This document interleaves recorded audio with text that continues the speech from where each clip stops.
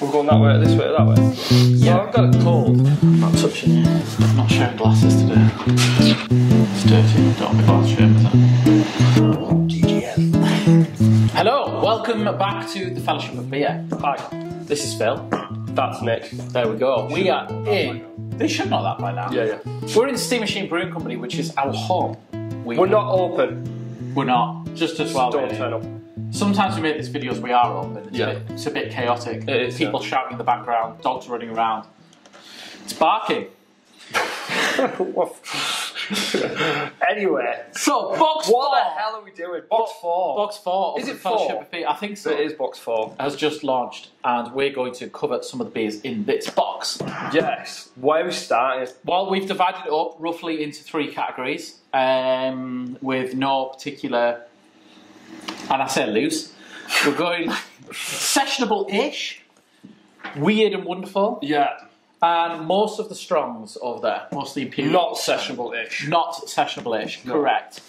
So without further ado, Yeah. what would you like to kick up on? Kick up, kick off on. Easy for me. to That's say. amazing. We're going to go for our dry hopped pilsner. Okay. What is its name? It is been to Hallertauer and back. Was Dry this hop a pills. members vote? thing? Absolutely. Well done. It's pretty good. It's better than what we could have come up with. It's been dry Just- hopped with Hallertau Blanc. Ooh. It is the same as Steam Machine's tank beer. We took a portion off. We dry hopped it with this beautiful, delicate. Is it German hop? It's German from the Hallertau region, Wow. and it's a modern German hop, and it gives lovely uh, aromas of white grape, gooseberry, Sauvignon kind of aroma. So it's quite delicate. Well, this is carbonated. That's nicely carbonated. Good start. Good start to the video. All right, here we go. Thanks. That looks lovely. Golden straw colour. Imported German Pilsner malt. Mm. You smell that white grape straight mm. away. It's just a vinous element. Was this it? pure German Pilsner malt? pure German Pilsner malt? Oh, that's lovely. Lovely breakfast beer. Very nice. Okay. Grassy, Grassy, white winey, white winey. lagery. It's, it's it's lager with a bit more about it. Yeah, I like it. It's lager for. I like these delicate white Good grape lager hops, drinkers. like this, like um, Nelson Sauvin. I, I really like. I really rate them. How strong is it? It is um, four point five. Oh, it is sessionable, isn't it? Sessionable, crisp, clean lager. To have some more of that in a bit. Okay, beer number two. What do you want? Do you want to go with the bog myrtle, seeing as though that was, That's all on you, Bog Myrtle. seeing as though it's the same base beer? Let's do it. Okay. Explain what the heck this is. Every year we do a collaboration with Full Steam Brewing in Durham, North Carolina, because we're a Steam Machine Brewing Company in Durham, not North Carolina. And so we've we've always opted to do. It, they were meant to be recipe swaps and brewing each beers on each side, but we kind of went off piste. Yeah, So I'm still hoping to be invited there. yeah, we have been invited there. Yeah. Which is like Loosely. two beer, two much, two beer, two poor, two beer. There's a Just Given link, just me. Only fans. Only fans. Only cans. um, steady. Uh, so this is uh, basically we both took our lager grist, Yes. which and we we both aged it on wild plants. What did they use? They used yarrow, which we were hoping to as well, but our yarrow was really late Ah. and really poor. And they also used like a North Carolina wild herbs that I don't know, like some native herbs to their area. We don't get that down Burn, do we? We we used bog myrtle, which it doesn't sound very What nice. a beautiful sounding It's thing. got a lovely sounding name called Sweet Gale. You know what we should do with Bog Myrtle? Put that on the bottle as well. Customer repellent. Okay, fair enough. We should have called it Sweet Gale. Or Myrica gale, it's Latin name, which is also quite delicate. We didn't call That's it Bog nice, is that Myrtle. true? We Yeah. should have done that. Yeah, never mind. We'll call it Bog Myrtle. Um, sounds more like it's from Harry Potter. so, Bog Myrtle is an ancient brewing herb. It's a really, really old brewing herb. It's it's How old? get old. okay. It's pre-hop beers were made with this. So it is a lager first and foremost. It's been made with our lager yeast. It's been lagered, but the bog myrtle just adds a subtle herbal difference to it. I think you get eucalyptus, lavender, slight floral notes. How Um, long did we bog myrtle it for? We bog myrtled it for the whole time I was away, Oh yeah, we did. so it's quite nearly a month, isn't it? Really? Okay, so It's slight carbonation. It should pick up more if you leave it longer.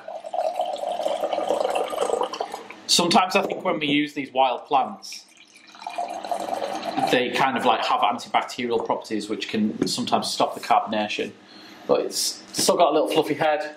There's bubbles rising from the bottom of the glass. Probably wants a little bit longer. It does smell different. It does smell different. It still smells like a lager, doesn't it? It's still Yeah. like a slight I get pure bog myrtle. Do you know what it reminds me of? what? A walk through bog myrtle. Classic. Weirdly nice. You, do you see what I mean about that hint of eucalyptus? Yeah. Perfumey. Yeah. It's like having a really nice bath.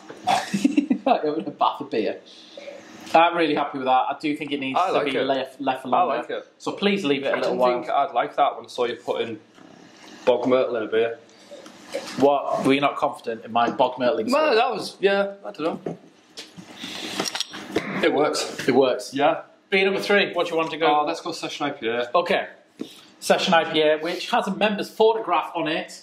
Look at that. Where's it come from? The photograph? The photograph. I don't know. or who's it come from? It's come from Liam Wallace. Thanks, Lee. It's a sunset, so Yeah. it's called Flying Squids at Sunset. Oh, nice. Why is it called Flying Squids? Because we love having session IPAs that have squids and octopuses and cuttlefish in Cuttlefish references. Yeah. For the machine So we've kind of gone full circle back to squids, haven't we? Back to squids. Yeah.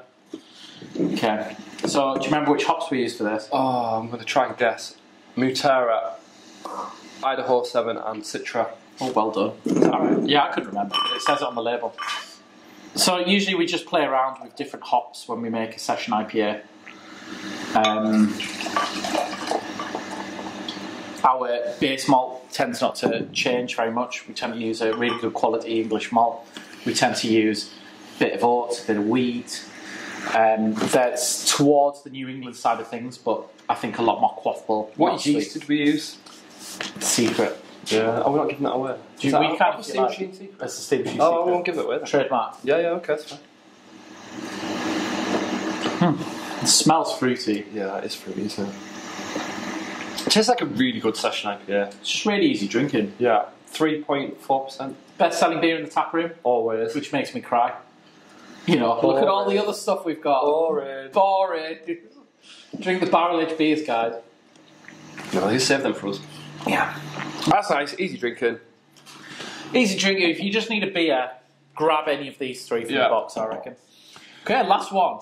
A of night this section. Tell us about a night This is ale. our English bitter, strong bitter. Is that what we're calling it? Yeah, strong English bitter, ESB, Chevallier malt.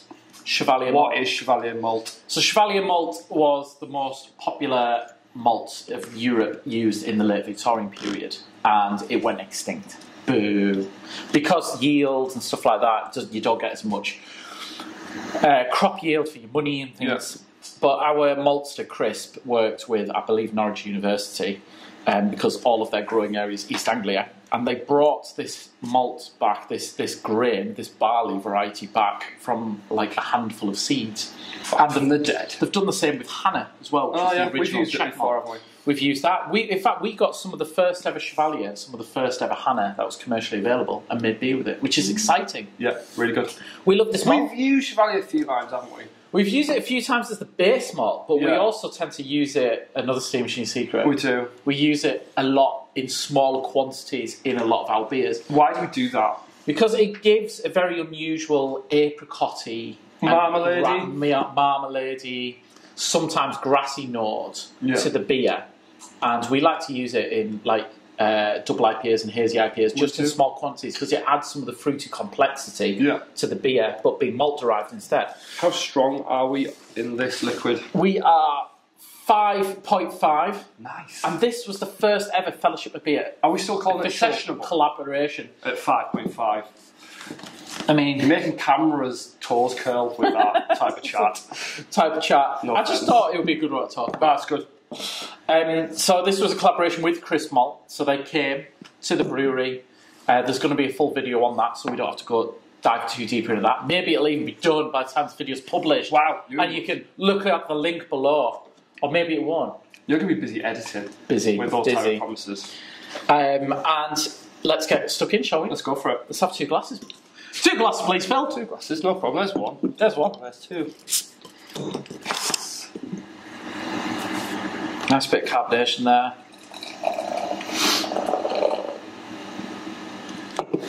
Ah. Can't wait to get stuck into this.